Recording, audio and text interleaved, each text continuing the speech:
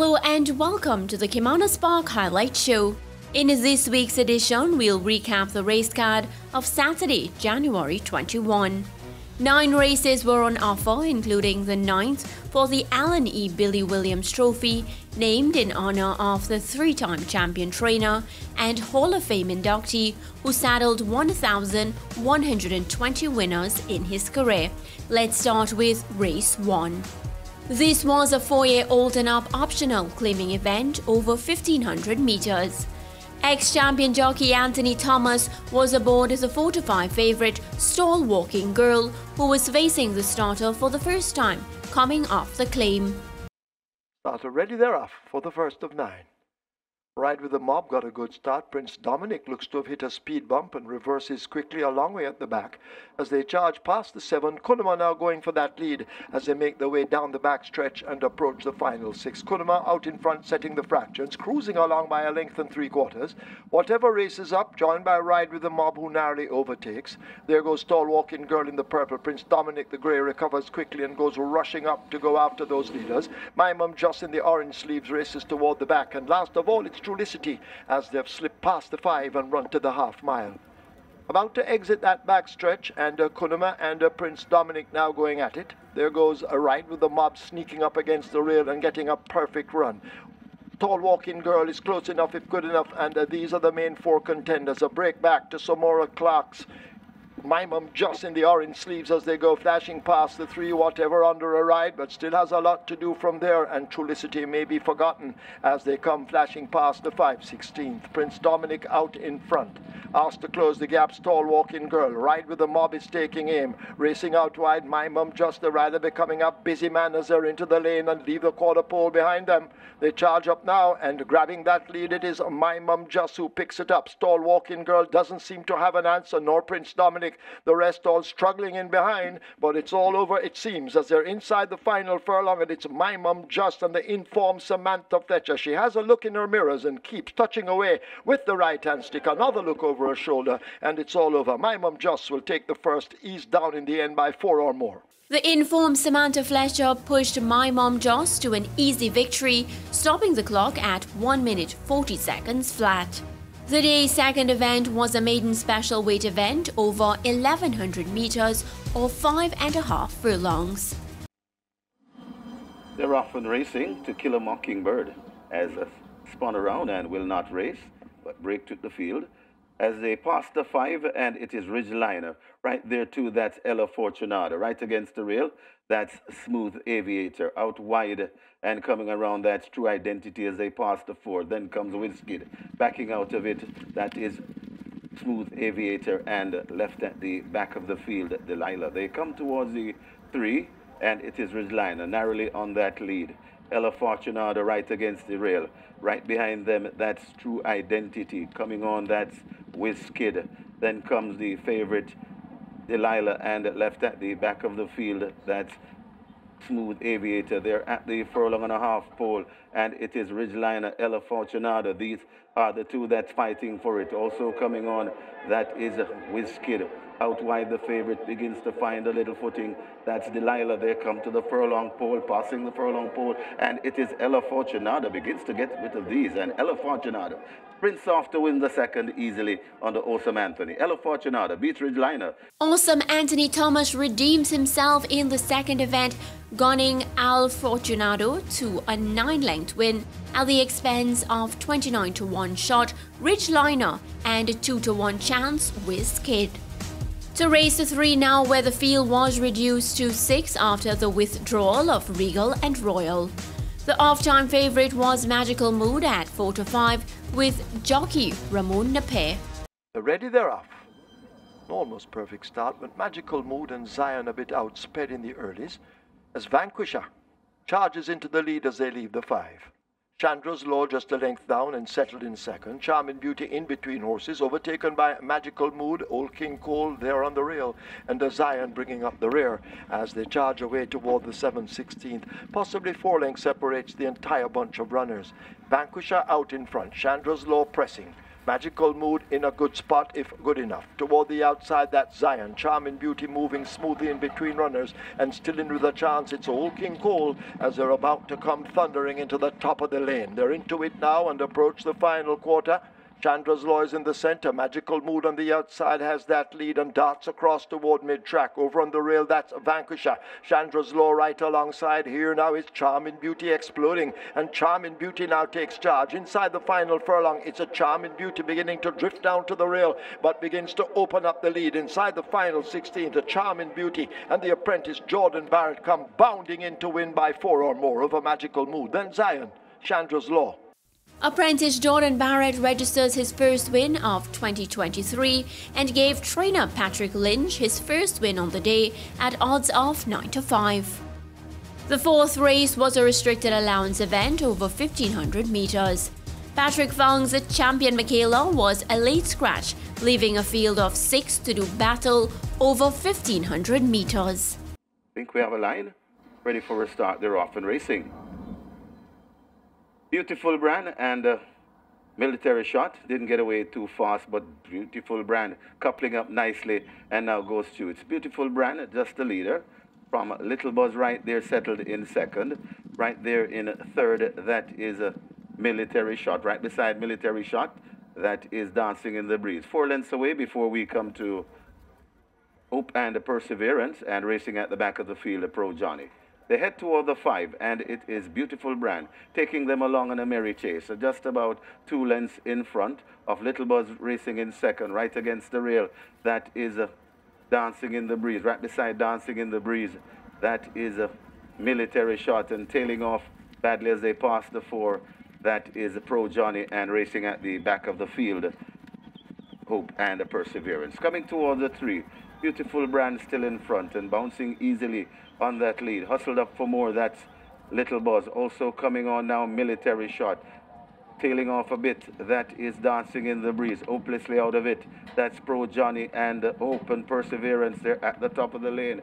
Beautiful brand will have to fight off Military Shot, and Military Shot now hits the front. It's Military Shot in front of Beautiful brand, right against the rail, coming out wide on the outside. That is a Little Buzz. It's beautiful. It's open, make that military shot in front at the furlong pole. Military shot begins to go away from these. And military shot has this one all won. Military shot under the bustling ride from Roger Hewitt. Military shot wins by maybe double digits. Roger Hewitt was a mere passenger as Military Shot devastated rivals to win by 17 widening lengths. Race 5 was another optional claiming event. Dracarys was a scratch, reducing the field to 9 in this contest over 1400 meters or 7 furlongs. They're off in the blood. Came off slow with Cola Will. Running toward the final six furlongs, they leave the six and a half, and He Can Dance goes out on that lead. Colbert racing up with Dodge This Link as they go flashing past the six. Two lengths in behind them, we come to the pair of Bold Sammy, Duke of Springs, almost hidden on the outside in the black with the yellow. Garincha the Grey asked to make some progress. Cola Will races up next, and In the Blood remains last. They've left the five. They run now toward the half mile, and uh, He Can Dance continues to lead them by almost two lengths. Dodge its link in pursuit as they swing into the half mile turn. A gap of some three or four to Duke of Springs on the outside. Bold Sammy right against the rail. Dare to speak, and Garincha team up in behind. Cola Will is rather toward the back of the of them. Uh, that is Colbert, then Cola Will, and last of all, it's in the blood as they've left the uh, 516th and will come thundering into the lane. Dodge this link has now taken charge. He can dance left back two or three lengths and running on the spot at the moment as Dodge this link is opening up. The rider has a peep behind him. On the rail, he can dance. Duke of Springs now the stick comes out in the left hand, but can they catch this, Dodge this link? And devastating Dane Dawkins there at the furlong pole and Dodge this link continues to dodge them. He can dance, rallying once again over against the fence. Duke of Springs trying to come on, but Dodge this link is attacked once more by He Can Dance, and He Can Dance now flashes into the lead. It's He Can Dance coming away, teaching them the quick step close. At the finish, Donovan Plummer's entry, He Can Dance, ridden by six-time champion jockey Omar Walker, had a length and a half to spare over Garincha, Dodged Its Link and Duke of Springs. It's now time for a break on the Caymanas Highlight Show. On the other side, we'll recap the remaining races on the card from Saturday, January 21. This included the day's feature, the Alan E. Billy Williams Trophy.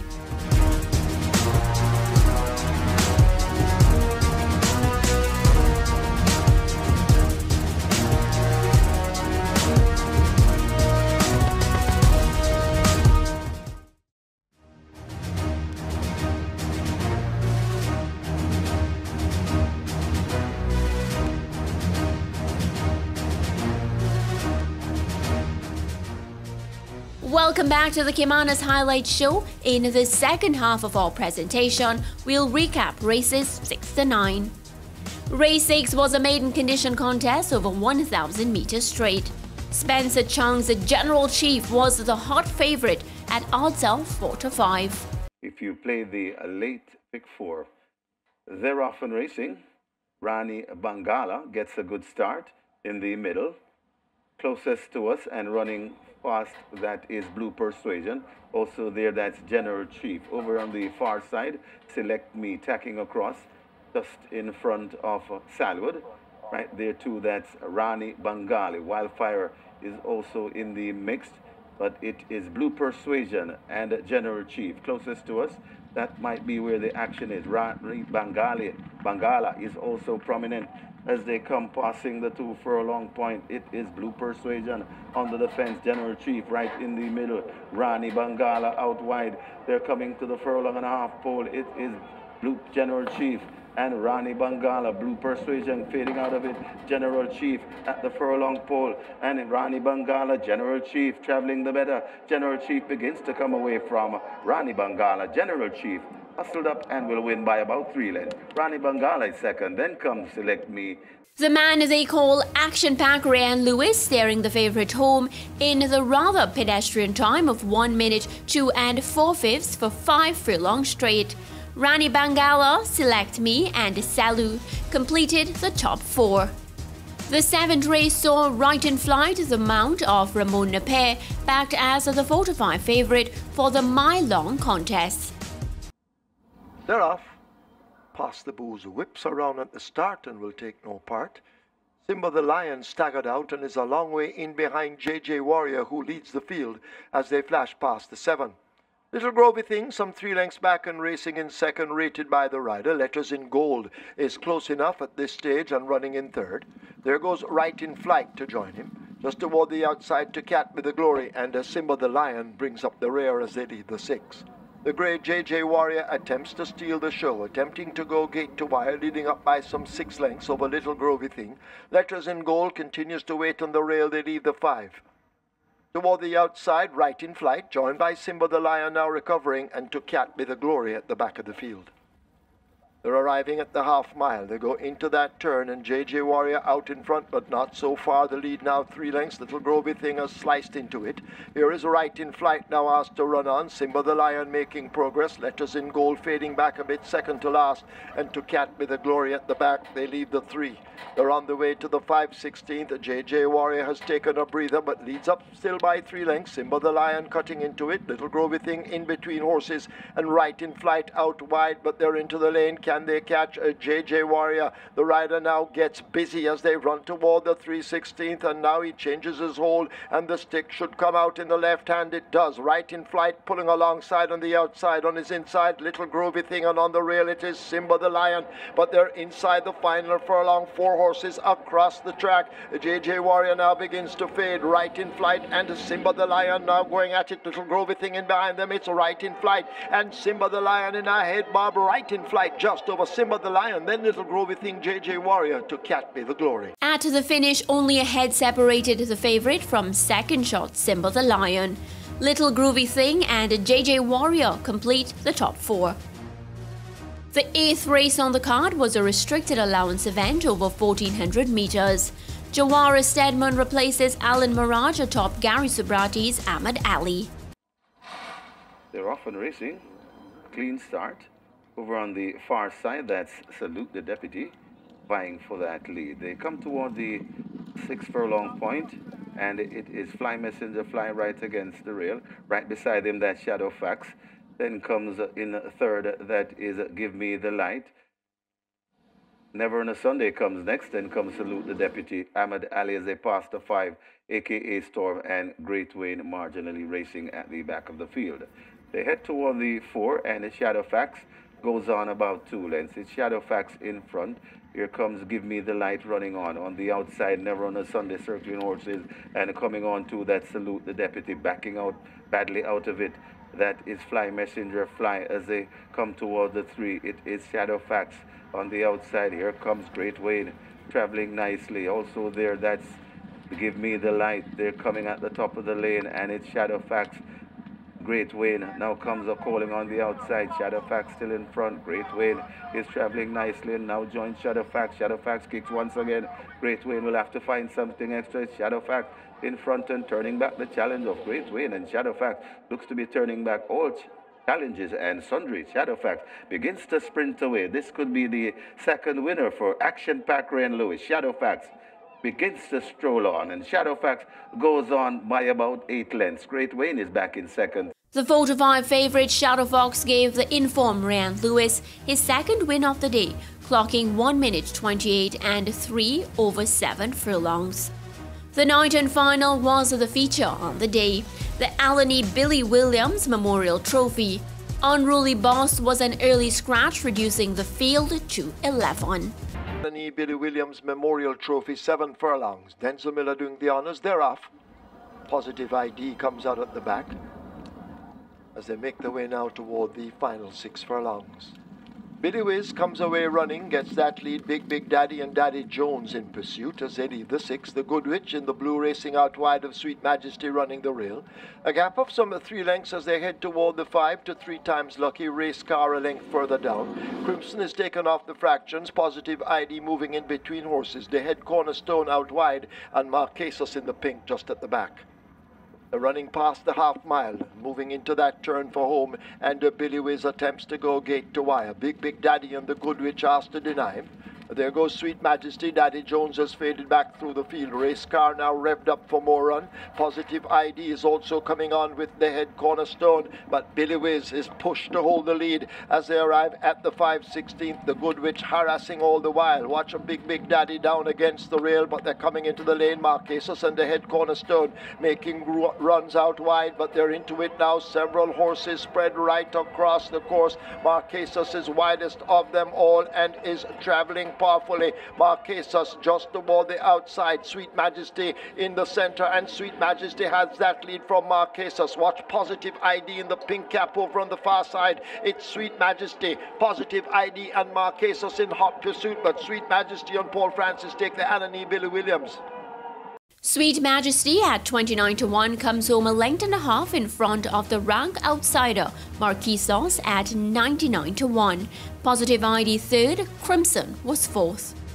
As we recap another thrilling weekend of racing, it was highlighted by that scintillating finish in race number 7 between Right in Flight and Simba the Lion, just ahead separating the two. Well, this has been another edition of the Caymanas Park Highlight Show. I'll see you next time.